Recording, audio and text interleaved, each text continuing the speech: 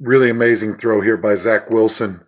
And you look at the protection, BYU is going to go with max protection. So they're going to leave five offensive linemen, a tight end.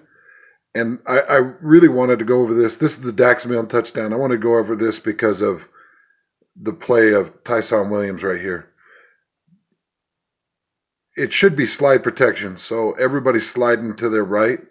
So you got Bushman that should be here on this defensive end, and then you've got Ty'Son will come down and pick up this in man line of scrimmage. But Bushman whiffs on the down lineman right there. Ty'Son smacks him. Ty'Son has answered a lot of questions for how he wants to protect and how he wants to play off ball. I think that AJ Steward has done a fantastic job of getting that guy engaged and playing a good game of football.